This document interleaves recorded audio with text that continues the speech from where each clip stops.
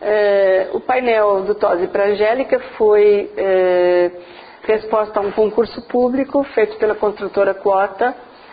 É, lançaram a ideia de um concurso para uma obra, para uma empena cega de um edifício que dava para frente da Avenida Angélica. Quase todos os edifícios têm janelas, dando para a rua, aquele tinha uma empena cega.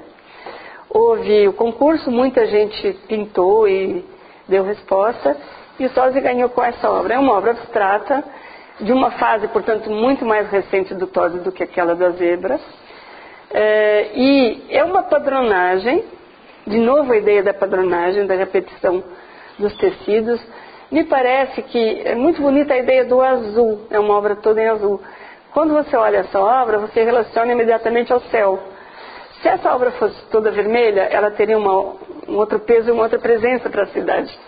A relação é, desse painel abstrato com, com o céu, me parece, é de dissolver um pouco a superfície da fachada, fazê-la quase que sumir e ela ficar parecida com o céu, ela desaparecer. Né? É, vejo como muito importante o fato de não ser uma obra figurativa numa empena daquele tamanho, são 600 metros quadrados. É o maior painel da América do Sul, sem contar a América Latina, que tem México, tem grandes painéis. Né?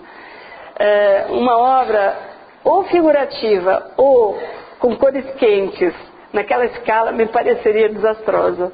Eu penso que é uma leitura de quase dissolver a fachada e transformá-la no céu, numa coisa que é integrada.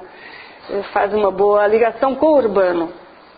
Ela não é para ser a obra em si, me parece, mas é uma releitura da cidade. O Cláudio é um arquiteto.